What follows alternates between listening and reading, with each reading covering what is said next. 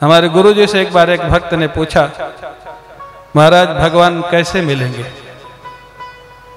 महाराज जी ने कहा गुरु जी ने पूछा कि तुम्हारे मन में ये बात कितनी बार आती है? चौबीस घंटे में कितनी बार आती है? पैसा कैसे मिलेगा? परिवार कैसे बढ़ेगा? व्यापार कैसे बढ़ेगा? ये कितनी बार आता है? और भगवान कब मिलेंगे? ये कितनी बार आता है?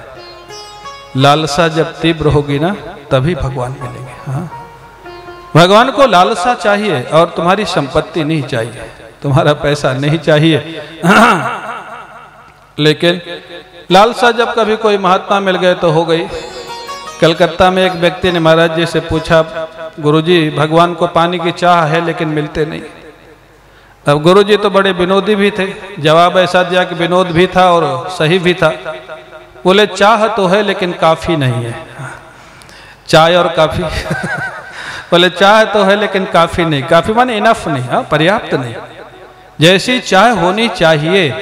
हमारे गुरुजी मुमुक्षा के लिए तो दृष्टांत दिया गया है कि शिष्य ने पूछा, गुरुजी, मुमुक्षा क्या होती है? बोले, चलो, नर्मदा जी स्नान करके आते हैं, फिर बताएँगे। ले गए नर्मदा जी। अब गुरुजी थोड़ा हेल्दी थे हृष्ट पुष्ट शरीर। शिष्य को पकड़ा, नर्मदा जी में डुबोया। अब वो निकलने के लिए छटपटाए गुरुजी थोड़ी देर दबाए रहे पानी में। वो निकल के भागा छटपटा के कि मेरा प्राण चला जाएगा।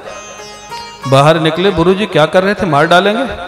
बोले, मार नहीं रहा था, प्रश्न का जवाब दे रहा था। बोले, ऐसा भी कोई जवाब होता? जान चली जाती मेरी। हा? बोले, नहीं, तुम पूछ रहा था ना, मुमुक्षा कैसी होती?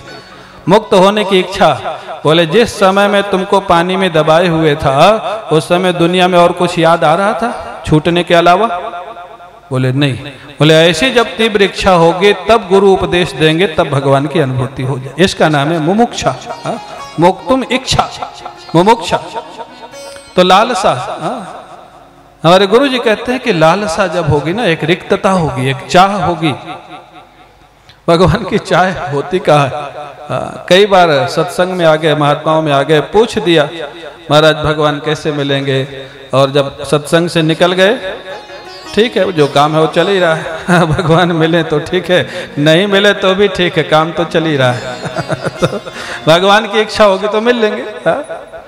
तो ऐसे नहीं होता है, लालसा, तीव्रता जब होती है, भगवान देखते हैं, वास्तव में इसको चाह है मेरी, चाहता है तो भगवान प्रकट होते हैं।